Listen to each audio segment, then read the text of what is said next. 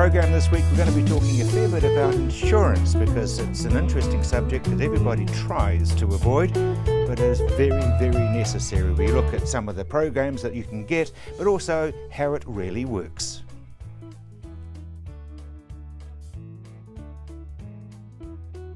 This week people are talking about the drought and even though we've had a bit of rain, it still hangs in there which is very concerning for people, especially on dry land. New York, what's going to happen? There's been explosions over there and the top politicians are going over there and if they do survive, what are they be talking about? Wool prices, there's a bit of a question mark over those at the moment. It's interesting that the Rangiora A&P show is 150 years old this year. To celebrate, they're going to be doing a royal event for three or four of their sections and they're also going to be celebrating over three days rather than two. So we've got horses on Friday, A&P show proper on Saturday and then celebrations on the Sunday. And speaking of irrigation, with some schemes being already having a 100% restriction on them, the question mark is still hanging very large over the Ruataniwha scheme. The lawyers are making hay while the sun continues to shine. In just a moment though, we're going to be talking about rural risk and how to get the best out of it.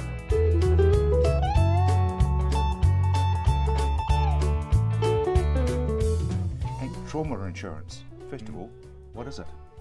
Well, trauma insurance is, is, a lump sum payment on specific diagnosis of a condition or a disability, uh, usually a significant illness. Um, it's a really, really good product to help alleviate the, the financial impact of, of a, a condition, a, an illness. Um, and it's not governed by any income. So you don't have to have an income. It's not like an income protection. Uh, and you don't necessarily have to be to the extreme where you are permanently disabled or, or terminally ill. Uh, but it is it is paid out specifically around diagnosis and around a more significant or serious condition. Barbara this is very different to terminal illness that you've spoken of in other times. That's right. This is a more immediate payment. This is like an everyday event, isn't mm. it? Cancer, heart attack, stroke, those types of uh, diagnoses. Um, so uh, a good comprehensive cover will cover you for about 43 plus conditions. Um, so it's giving good cover for those everyday events. Um, for a female, uh, you know, our biggest risk is cancer. Uh, so maybe a breast cancer diagnosis. Uh, and we have a three step process to it where we have an early diagnosis payment, uh, full trauma payment, and then um, we've also got these uh, severe trauma payments. So little buckets of money that come in uh, as people need them. Buckets of money are fabulous. Yeah. so it, it's it's really very different to what we've talked about with the terminal. So Hank, mm. yeah. This isn't this is you don't have to be terminally no, diagnosed. no, not at all. The criteria is you, you, still have to be alive after 14 days of diagnosis, so so that helps. Um, but it is specific around the diagnosis. So, so I'll give an example. Um, we know that from, from, from historical data that, that more than 80% of, of female claims on trauma are cancer related, one way yep, or another. Hence what Barbara Lee was yeah, saying. Yeah, for males, more than 85% of, of trauma claims are cancer or heart related. Mm. So I'll give you an example around cancer. Uh, uh, if you have a very small melanoma that we often get and, and, the, and the doctor just just cuts it out there and then, that's not going to warrant a, a, you know, a 50, 60, $100,000 claim. So, so you need to reach melanoma at a certain depth and certain severity before you get a claim. So th there are certain aspects that need to get to a stage before each of the various claims are made. Like early cancer stage would be very early and it would be a, a smaller amount of, of, of capital sum that you get. Then you get a full trauma. There are now an option for what we call a severe trauma. Historically, what's happened in the past is that trauma claims have become easier and easier to claim. Number one, because it's more competitive within the life companies. So they say, hey, you should use our trauma because actually we've lowered the standard and you can claim earlier. Yeah. The other aspect is as medical technology has advanced. So we now know that we can now identify some illnesses or, or, or, ailments at a much earlier stage, and therefore mm-hmm. the trauma's paid a lot earlier. So the problem with that is more claims, more claims, more cost to the life insurance company. So what do they Premiums do? go up. The premium up. Mm. Of course they do. So what we now have available is a, a trauma that's that's paid on a far greater severity and therefore is cheaper because it's harder to claim. Okay. Barbara Lee, do you have to have life insurance coupled in with this? No, no, you don't. Not you at all. to you have can to. have it right. No, it can be standalone product, um, and it's really important too if you've got a current uh, trauma policy that you get that reviewed, uh, because we have um, access to ratings for the different products. Um, for example, as Hank said, as a, a male, your biggest risk is cancer and heart. Well, you wouldn't want a like a C rating for a heart attack definition. You'd want to make sure that um, the definitions are going to meet the, the client's needs. So for females, really great ratings for cancer, and for guys, cancer and heart attack. So somebody might be sitting there with an old policy um, that may not work so well at claim time. So we re- re- review. I nearly, nearly had trouble getting that out. But we'll review what every two years, or Yeah, it's still product review for clients. You know, if you've got an existing trauma policy, how does that stack up to what's on offer today? and the neat thing is you don't charge for these reviews. No, no, no. no, we don't. there's no fees for our services, which is great. No, it's good. Coming back to to the trauma, I've got stroke coming through my mind all the time too. I wonder, is, is stroke the sort of thing you're looking Yep, absolutely. So a stroke is is covered under trauma, but there needs to be a degree of severity or permanent disability within that stroke before a payment's made. So once again, you could have a mild stroke and it has no impact and no effect whatsoever. You feel a bit ill or something's gone wrong, you go to the doctor, uh, and the doctor says you've had a mild stroke. No problem at all. We put you on uh, on medication to help control that, and there's no financial impact and no disability. So But if it's severe and you've got one side of your face Yeah. paralysed and you can't use your one Yeah. arm, It's based on a percentage of permanent disability. So the first payment is made at 25% permanent disability on, on, uh, on a normal standard sort of trauma.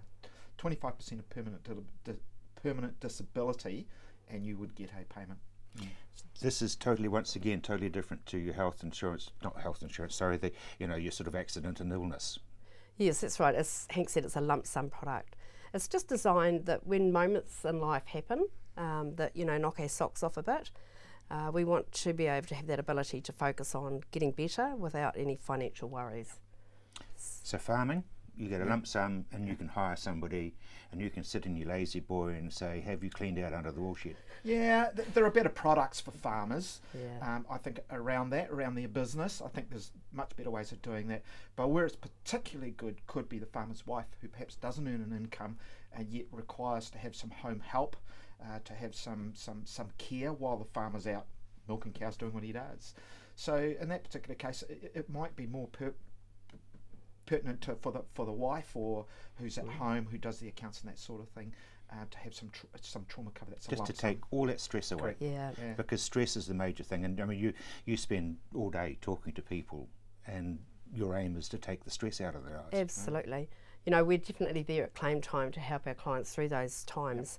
And putting funds there, you know, it gives them choices. Um, you know, they can have someone in to, you know, look after the home or, The children, yeah, Yeah. Uh, you know, go to the hospital in a, in a taxi if they want. You know, it's things that make it easy for them. Everybody's different to what they want and need, but it's just making it easier. So, big package, you're basically looking at a range of products. Yeah, you are, and it depends on their circumstances. Uh, Trauma is particularly good for financial assistance for people who aren't earning money, and that could be wives, that could be students, it could be Could be anybody, Could be anybody, could who's be not retired. taking out of their business. And Yeah, correct. children, Hank. and children. And children, you know, they they're um, they claim all the time for traumas. You know, what happens if a child has an event and uh, the rescue helicopter comes in and takes them to Starship? Uh, they're going to get looked after beautifully, but you know, the parents have to fund uh, lost income and travel cost, accommodation cost, and you know, this is where that money comes in for those times too. You can do that for children. oh Yeah. yes, the whole family needs to be covered. It's so important. There's some quite good benefits uh, around uh, uh, uh, trauma uh, that give free trauma for children. yeah, exactly. Yeah, there are some, some, some really good options out there.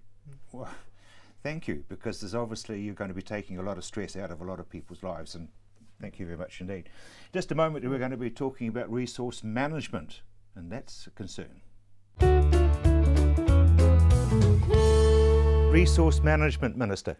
Yes, yeah, in terms of uh, RMA, that's working its way through the Parliament. In terms of uh, natural resources, uh, we've got a real focus on uh, doing what we can to support regional water storage projects, and we had a couple of very good budgets there. We're very keen to see more water storage projects uh, get off the ground. Uh, Central Plains 2 is working its way through as we speak. We know that Central Plains 1 is taking a lot of pressure off the groundwater aquifers down there, which means some of that water flows into Lake Ellesmere, which is very important. Uh, we know that uh, water storage projects are good for not only uh, regional economic uh, activity, but also they're good for the environment as well because you can maintain those summer water flows. So we're waiting to see what happens with Ruataniwha. There are other very exciting water storage projects uh, in the, the, development phase, particularly down where you are there on the east coast of the South Island and uh, other parts of New Zealand. So I'm hugely excited about water storage. I think when we're dealing with some of the issues that we are dealing with in terms of climate mitigation and changes, then storing water is going to be hugely important uh, for us as a nation going forward. That leads me straight on to the drought, which looks as though it is going to be a three year event. Um, certainly in North Canterbury, it's very, very tough, and I've been down there on a regular basis, and I'm amazed at how well those farmers are working together in their community to get through. It's very, very tough on there. There's just a little patch there around Cheviot and other areas on the east coast of South Island. It just tends to be missing any decent rain. They've once again got a water storage project that's taken a while to get going. They're very focused on that now. We're doing what we can to support them through the Rural Support Trust. And I acknowledge all of those businesses that um, got involved and got a lot of their farmers up to the National Field Days. I met them up there. They had a whale of a time, and it was a wonderful opportunity for them to get off farm and, and just realise that they're not dealing with some of their issues uh, on their own. It's often been said that PR is a very important part of farming and the farming industry, but the bottom line is we're not all that very good at it. I'd like to say that Federated Farmers are doing a good thing with little farm visits where on a specific day the people in the city can come out and have a wander around. It must be an osher's nightmare, but it's very good and the people do come out and they do wander around and they do see cows and they do see crops. And the nice thing about that is that youngsters, can actually learn that milk doesn't come in cartons, it actually comes from a cow through a processing plant and then into the cartons. And that the vegetables don't suddenly appear as if by magic in the greengrocing section of a supermarket. The most important thing I think is to get the youngsters and get them an understanding so that they can relate properly to farming. Wasn't that many generations ago that everybody in the city seemed to have an uncle and an auntie who ran a farm. And so weekends and school holidays, they'd go out to the farm and they'd work out exactly what it all was about and they'd play in the hay stack and the hay shed and they'd, they'd feed pet lambs and they'd do all those sorts of things that second nature to country people. I'd like to now, though, congratulate New World because New World have come out with a scheme.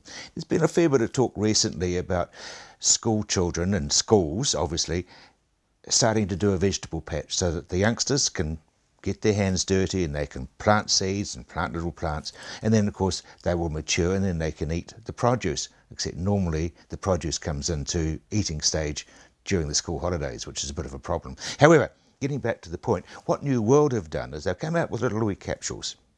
And it's a little container, and there's a compressed soil piece in the bottom of it, and there's a little pad with some seeds in it.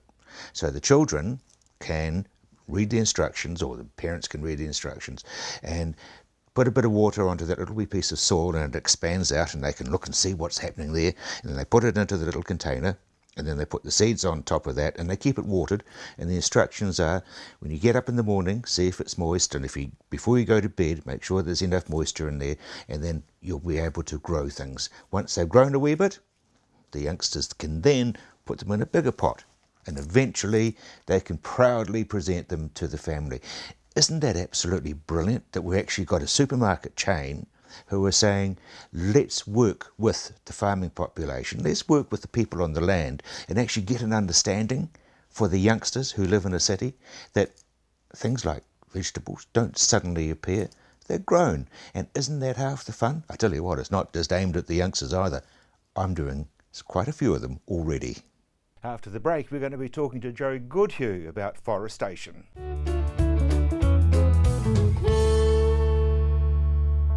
You know that saying, content is king?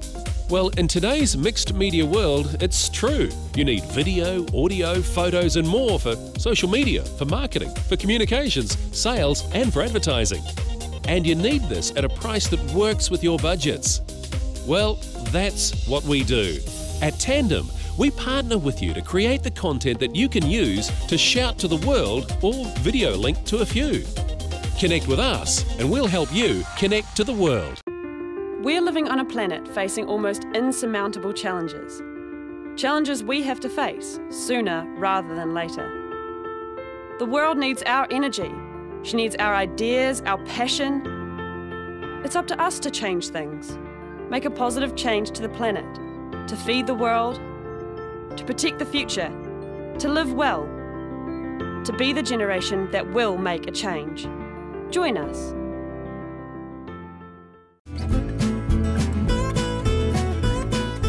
Everybody has a story to tell. What's yours? Maybe your family has been farming the land for five generations. Perhaps you have invented the next best thing in agriculture, or maybe something else. Whatever your story, if you're out on the land, we want to hear from you. Get in touch by emailing us at info at ontheland.co.nz.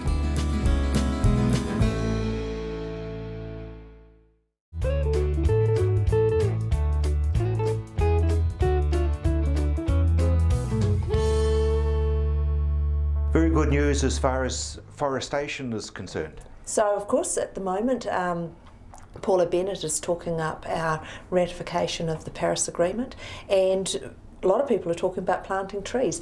The carbon price um, last week was at 18.20, and that's certainly giving elevating confidence. I think we could say the afforestation grant scheme, which is a government scheme, started last year, but the first plantings are happening now. And in the first year of planting, there'll be five million trees planted. So a variety of varieties being planted. Um, most of them, or they all should be happening in erosion-prone areas, and then there'll be the second round underway very shortly because we've had um, a great number of applications for funding in the second round. And it's an ongoing project. It's a five-year program, twenty-two and a half million dollars, and it's it's come at a time where, um, as I say, people are worried about not enough trees being planted. It's a great way to sequester carbon, of course, and the government's um, pleased to encourage it. In just a moment or two, we're going to be talking about irrigation systems, which are basically cash and carry. Phil, you've repackaged the three and five K-line packs. Why? Uh, look, it's all about providing people what they require for the areas that they've actually got to hand. Um, when you have a look at a lot of lifestyle areas, they're relatively small paddocks.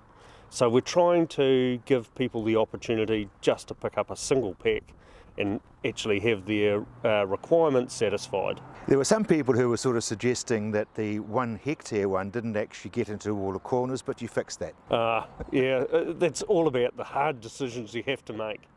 Um, what we've done with the with the bigger package is that we've increased the amount of pipe that's on there, um, and that's about making sure that in fact we've got enough such that we can do exactly what we've suggested.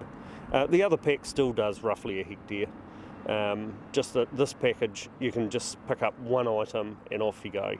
Uh, and it fits much better into a DIY type of um, opportunity, I guess. So really the only decision is whether you need a three or a five pack. The decision is whether you have a three or a five, and the three is going to fit really well in, I can imagine, a horse field or um, a situation where you have a smaller paddock and you're actually trying to um, just cover that well enough. Um, it comes with a number of nozzles, as in fact do all of the uh, farm packs. Um, they have three different nozzles in there, so you can adjust application rate and depth. Um, and they have a, a reasonably high performance NAN sprinkler in them. DIY, how simple is it to get the whole thing up and running? Well, basically anybody that can um, screw a thread together or drill a hole actually has the ability to do the job. And there's stuff that we've got in there that assists people along that process. Uh, we've got a manual that covers uh, all of the what's in the pack, obviously, and exactly the detail that you need to put a whole system together. Now, some people don't like reading instruction manuals, but they'll watch a DVD. Uh, the reality is, actually, it also comes with the DVD. So the DVD talks about the basics that you need to know in the process one one to ten of how you would actually put all of that together. So, what do you actually get when you buy the pack? You get uh, whether it's a three or a five, obviously the appropriate number of pods to go with that.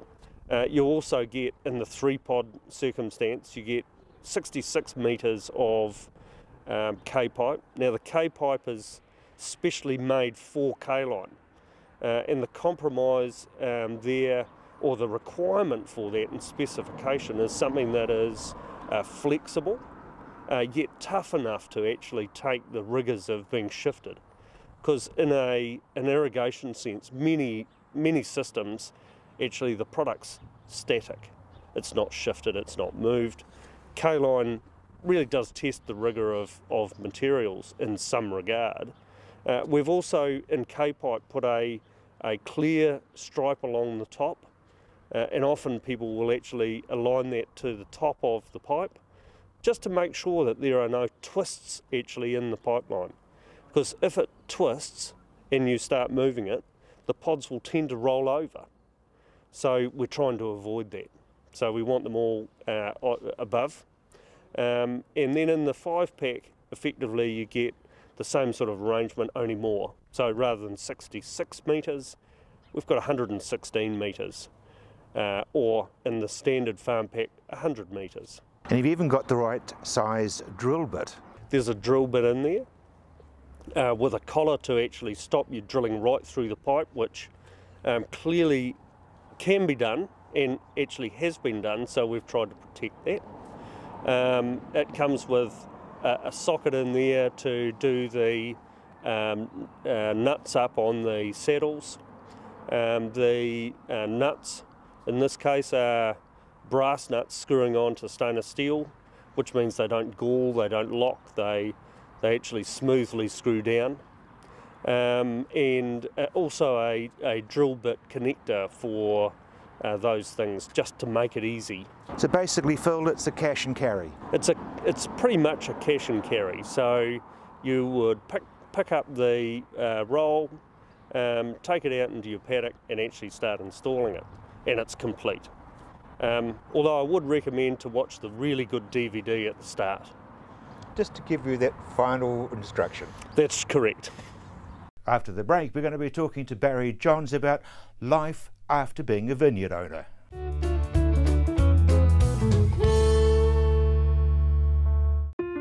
We're living on a planet facing almost insurmountable challenges. Challenges we have to face sooner rather than later. The world needs our energy. She needs our ideas, our passion, it's up to us to change things, make a positive change to the planet, to feed the world, to protect the future, to live well, to be the generation that will make a change.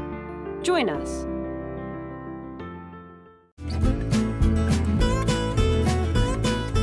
Everybody has a story to tell. What's yours? Maybe your family has been farming the land for five generations. Perhaps you have invented the next best thing in agriculture, or maybe something else. Whatever your story, if you're out on the land, we want to hear from you. Get in touch by emailing us at info at ontheland.co.nz.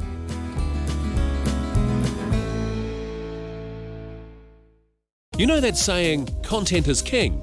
Well, in today's mixed media world, it's true. You need video, audio, photos, and more for social media, for marketing, for communications, sales, and for advertising. And you need this at a price that works with your budgets. Well, that's what we do. At Tandem, we partner with you to create the content that you can use to shout to the world or video link to a few. Connect with us, and we'll help you connect to the world.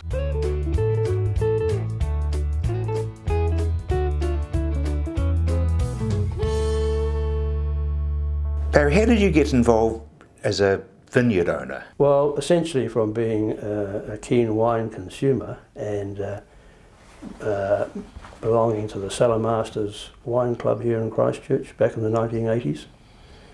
And um, I, you know, I really was interested in gaining you know, more knowledge about wine and appreciation of it. And uh, that led to me in 1989 uh, taking a sabbatical from the law practice that I was in at the time and um, spending six weeks on the road in France uh, on a solo cycle journey through the, the main wine regions and um, uh, just getting a feel for what, what happens on the land and uh, tasting some pretty good wines along the way and just ex expanding my knowledge and uh, uh, appreciation of the industry. Now you wrote a book about that. Yes, I've written an e-book, uh, A Wine Lover's Tour de France, based on that journey of two and a half thousand kilometres in six weeks. So I was doing a lot of cycling and um, tasting wines along the way as well and that's that's been published on uh, Amazon.com, and uh, I'm getting good sales for it. And then, of course, you ended up owning and developing Fiddler's Green. Yeah, that was uh, in 1994. We um, uh, bought a bare land block of 50 acres at Waipara on Georges Road, and um, commenced to develop that and uh, create uh, a new wine brand, Fiddler's Green. So that was a family business involving Jenny, my wife, and also our eldest son Ben, uh, who had done a postgraduate um, course at Lincoln in viticulture. Damn hard work, though, isn't it? It, it is demanding work. Um, uh, there was a lot of um, initial sort of uh, thought that this was going to be a wonderful uh, venture. Um, and uh, we had the passion for it, uh, but uh, it was a huge amount of work and a huge amount of capital required to sustain it. And in the end, we were under-resourced in, in both capital and manpower. Yeah. And it sort of basically ended up with you having health problems. Yeah, well, we uh, in, uh, we had the um, situation from about 2007 onwards that uh, we were starting to feel feel the pressure in the business due to too much debt that we'd built up, and um, then um, but we, we, we struggled on, and uh, by by 2011, of course, when the big earthquake struck in February. Um, that was, was a real blow for us because um, we lost something like 40% of our customer base in the city when, it was, when the CBD was all shut down. So um, you know, we used to supply a whole range of um, uh, restaurants, cafes, wine bars, hotels with our wines. And um, some of those have never re-established. Um, some of them are back now, but uh, that was a real blow for us financially. And um, and then within two or three weeks of that, uh, I had a heart episode and had to be admitted to hospital and um, have uh, stents implanted. And I only been home a couple of days, and Jenny had a heart episode that saw her in hospital for five days. Um, but we recovered from all that, and uh, and we were motivated to really try and um, uh, sell the vineyard and move on. Now, Glasnevin has to be a big feather in your cap. Yeah, well, Glasnevin is a um, another brand which was set up um, really around about 2005. Uh, it was always meant intended to be Ben's brand, Ben's uh, business, and it is.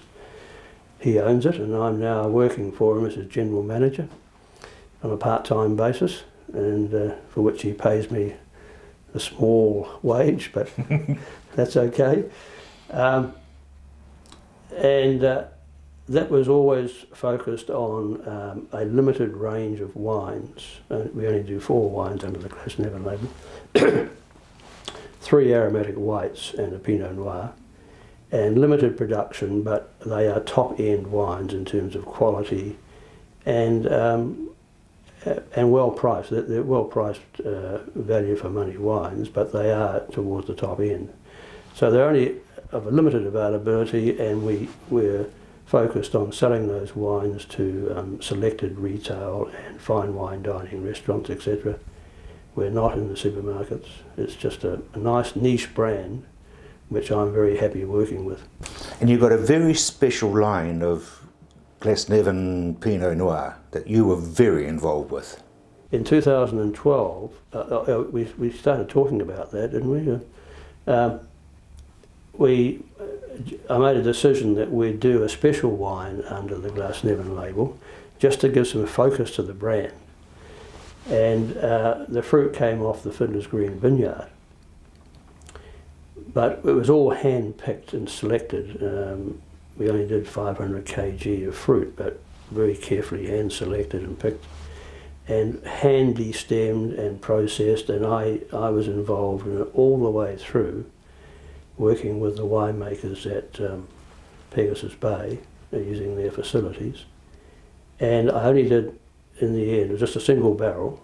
Uh, 275 bottles were finally uh, produced, and each bottle was numbered 1 to 275 uh, on, on the label.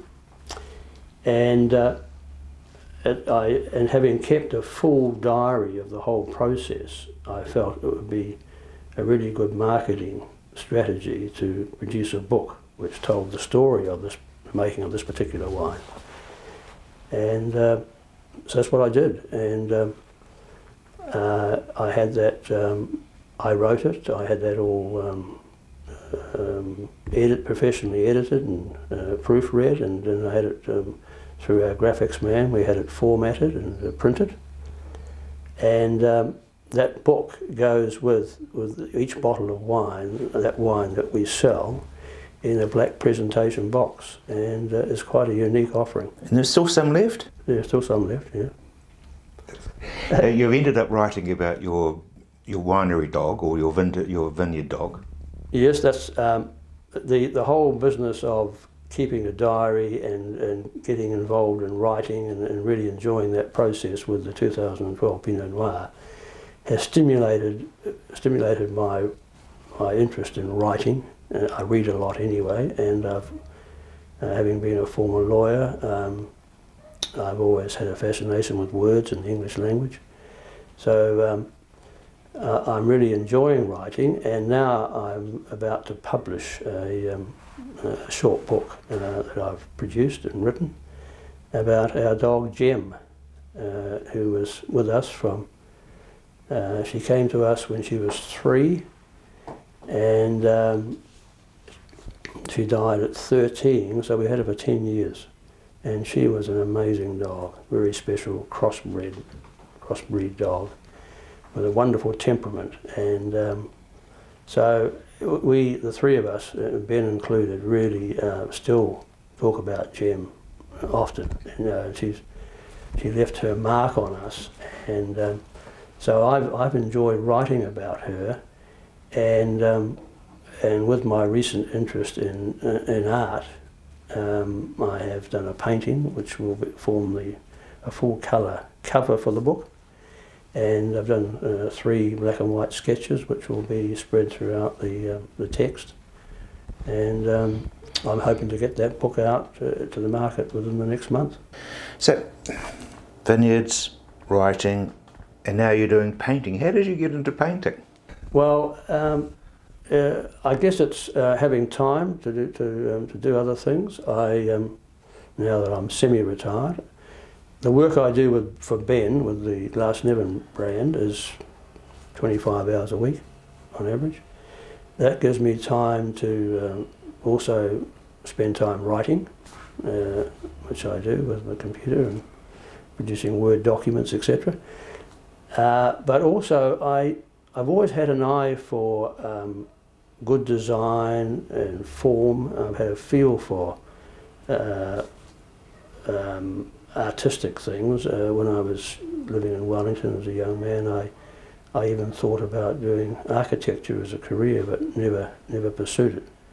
Decided to come to Christchurch and do a law degree instead. But um, the um, the thing is that I had the time, and someone said to me, "Well, look, um, you can uh, do uh, you can there are art classes at Art Metro at the top end of Papanui Road here, where um, it's not too expensive, and they, they have nine week terms uh, where you go along once a week for two hours, and they have very good uh, tutors, and um, you, you can learn learn how to paint.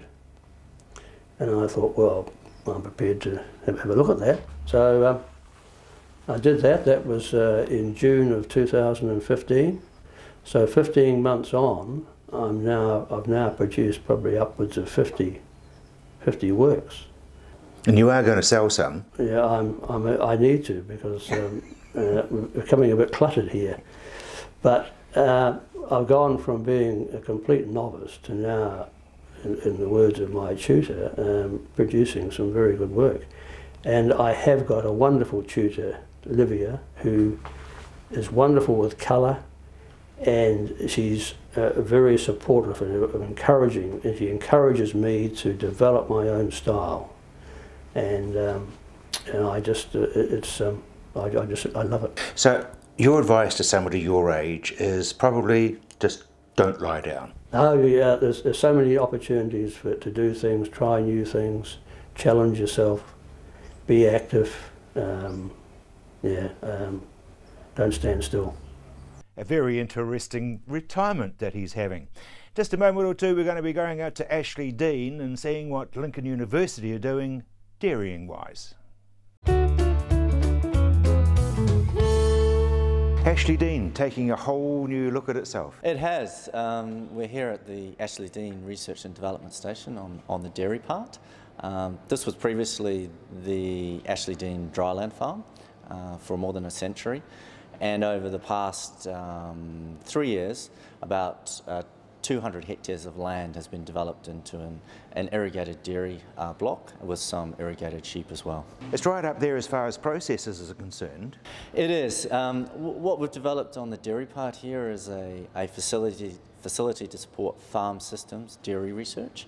Um, exploring options and solutions for dairy farmers to uh, drive profitability and improved environmental outcomes. You're looking at feed systems as well as other things? We have. We are looking at all those things. So the facilities that we've developed here are, um, we've got a milking shed, we've got um, standoff pad facilities, uh, which have uh, various materials within them, and feeding facilities where cows come off and off, on and off the paddock uh, for short periods of time, uh, in line with an increase in their productivity as well as improving their environmental footprint. Tell me about the standoff pads because they've got different surfaces.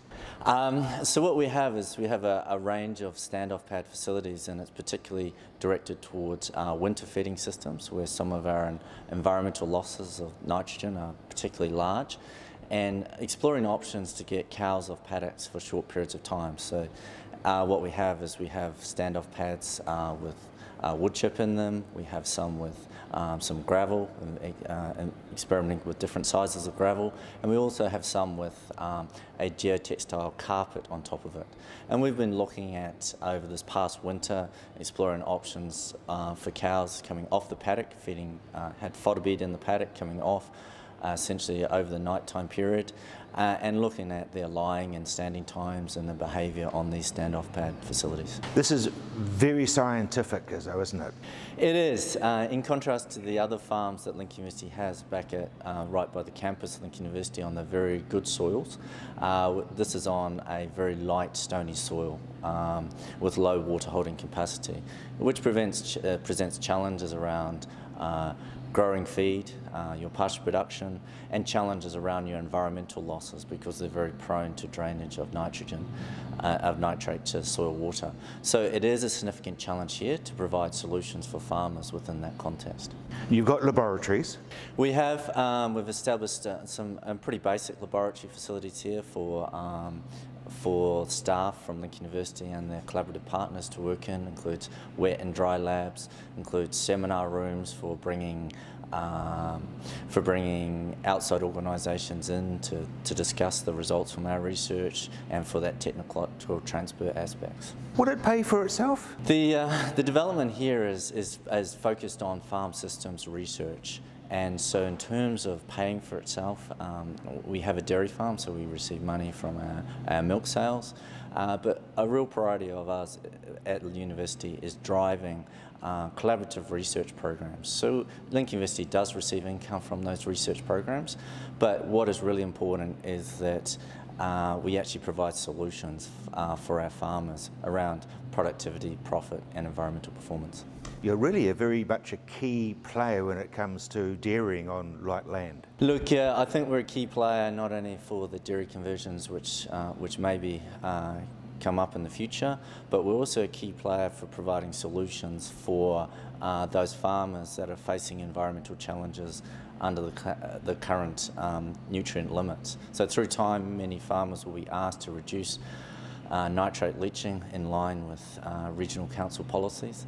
And uh, we hope to be at the forefront in providing leadership for those solutions. Well, I guess you're leading from the front. Leading from the front, it's uh, very much where Lincoln University, in conjunction with its collaborative partners, particularly associated with the, the Lincoln Hub, um, uh, which is um, developing to a large extent, um, providing a resource for those partners to come here and work uh, on this farm from a research and uh, farm systems point of view. And after the break, we're going to be talking to the Minister about dairying.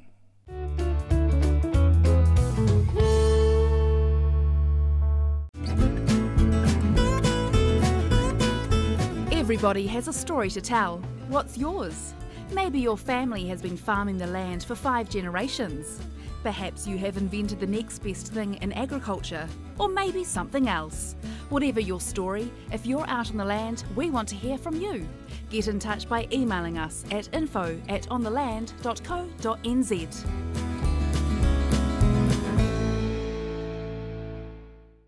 You know that saying, content is king? Well, in today's mixed media world, it's true. You need video, audio, photos, and more for social media, for marketing, for communications, sales, and for advertising. And you need this at a price that works with your budgets. Well, that's what we do. At Tandem, we partner with you to create the content that you can use to shout to the world or video link to a few. Connect with us, and we'll help you connect to the world. We're living on a planet facing almost insurmountable challenges. Challenges we have to face sooner rather than later. The world needs our energy. She needs our ideas, our passion. It's up to us to change things, make a positive change to the planet, to feed the world, to protect the future, to live well, to be the generation that will make a change. Join us.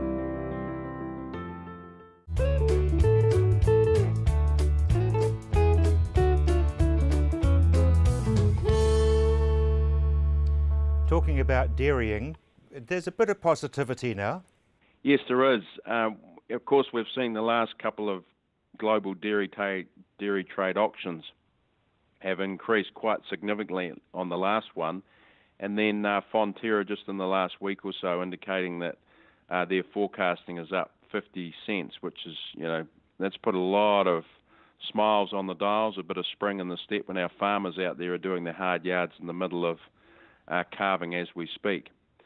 What's really interesting is uh, it's taken a while for uh, all of these things to sort of align, and that's and when I talk about that, I mean uh, the global sort of dairy volatility is lines up with about three or four things. One is you've got the European Union's the European countries producing more milk. You've got uh, a ban of products that used to come from the European Union into Russia. That meant that some of that product was coming into some of our more historical markets. The China inventory has taken a while to work its way through, and also oil producing countries have got less buying power, buying power, although that's starting to be corrected right now. So having all those things align is very unusual. But what's happened in the last wee while is that uh, demand is still being growing around the world at 2 to 3%. New Zealand's supply was back about 3% for the last 12 months, indicating to be back another 3% uh, for this season. And now, so that means it wouldn't take much for the price to start coming up when you see the, the growth demand figures. So less milk coming out of the European Union as well, which is a positive uh, for New Zealand farmers. So you know they're about 156 billion litre market, and if they we're about 20 billion, if they reduce just a little bit, uh, that's significant for uh, global supply. The other fundamental point that I want to acknowledge on your show, Rob, is that you know, farmers have done incredibly well to rein in their cost structures.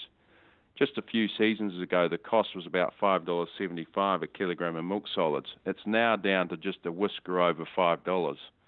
So farmers have tightened their belt. They've focused on their line by line cash flow analysis. They work very closely with their professional advisors, their banks and accountants to make sure that you know ultimately they're growing as much grass and harvesting it and, and making sure that they're running a very efficient and profitable business. And you know, by and large, uh, most dairy farmers will come through this period having a more resilient business model going forward, which I think is absolutely fantastic. But we shouldn't, um, I guess, look through this with too many rose tinted glasses because uh, for a few of our farmers it's been very, very tough.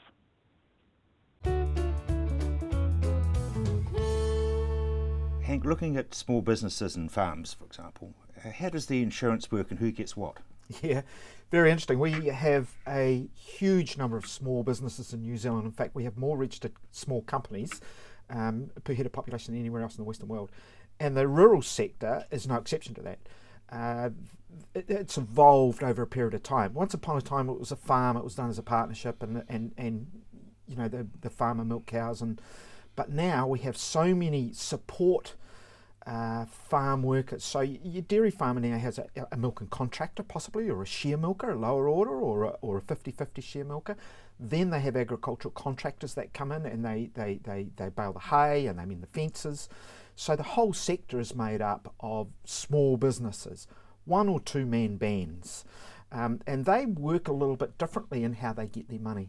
So we often talk about income protection. How do we how do we replace our income if we're unable to work?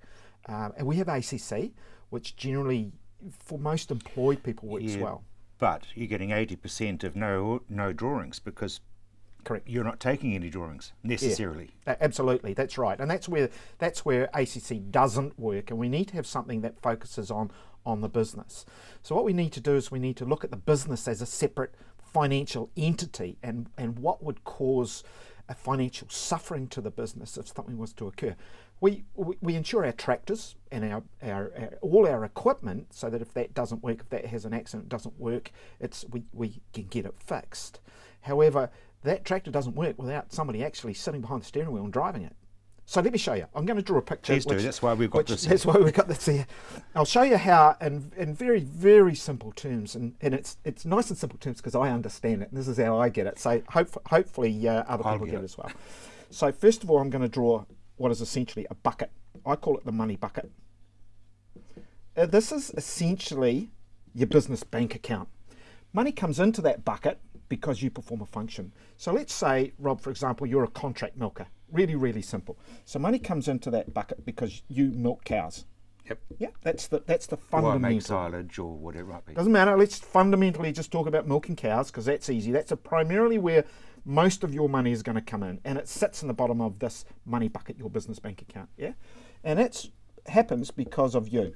Yep. So money comes out of that bucket. Yeah.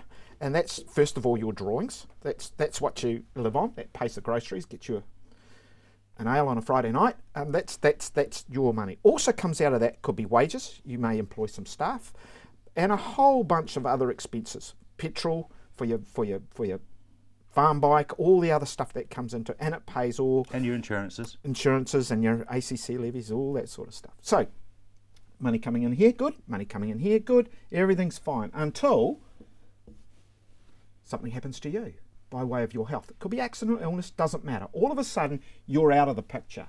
If you're out of the picture, ultimately this will stop because you drive that. You may have a couple of people working for you and they can continue to work, but you are responsible and you are key to this function occurring.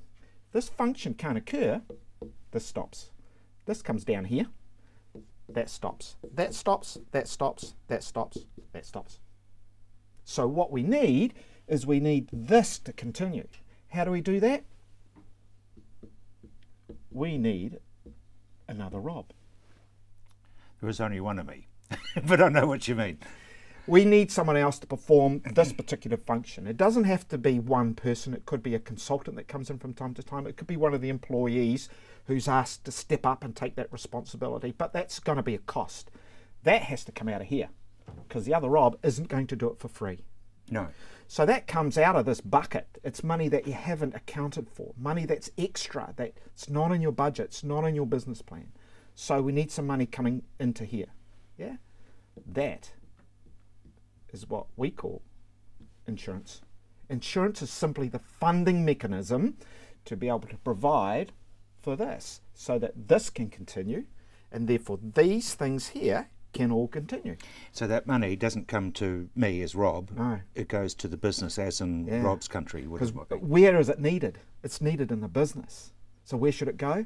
Into the business, not to Rob. If this goes to Rob, it's income. It's directed to Rob. Yeah. If he needs to boost this bucket up, he has to put the money in. But when it comes into him, it's income. It's taxed. It's income tax because it's classed as income. If it comes in here, it's taxed, but only at the P&L level. And theoretically, the money comes in here should be the same as that goes out here, so it doesn't affect the profit. It Doesn't affect the loss. There's no loss. There's no profit. It balances out. Does that make sense? So this, it's just really figuring out the amount that needs to go in there. So who should own that policy? well, to me, it would be me, but I bet I'm wrong. No, it's the business. Yes. Because the business is a financial entity in its own right. It can own its own policies and should. And there are tax advantages. Now, I'm not a t- uh, I'm not an accountant, uh, and you need to uh, you know business people need to talk to their accountant. But there are definitive and clear tax advantages in, in, in having that owned by the business. And there are, of course, uh, practicalities around that money going into the business. If you were taken out of the picture, you had a bad accident, you were in, in, in intensive care, uh, you're in a coma, and that money comes to you, there might be issues about the, that money when that money is available. Coming in here, it's in the business. So the even a business broken leg can can put me up on the couch. That's right. Absolutely, that's right. And now we need to talk to people on a, on a case by case basis to see what's appropriate. But the other aspect of this is because it's going in here, it's not offset by any ACC entitlement because ACC is paid to you and is taxed before you get it.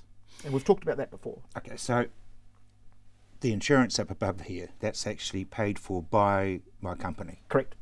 By your business. by my Yep. business. Yep.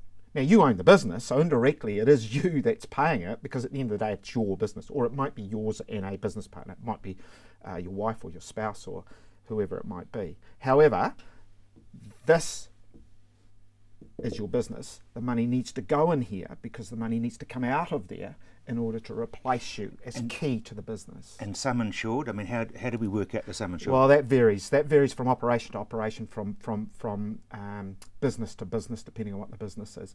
We're a country where we have so many small business. They are often tradespeople who happen to be in business. Yep. Because that's the way they get their remuneration. That's how they make their money. That's how they pay their bills.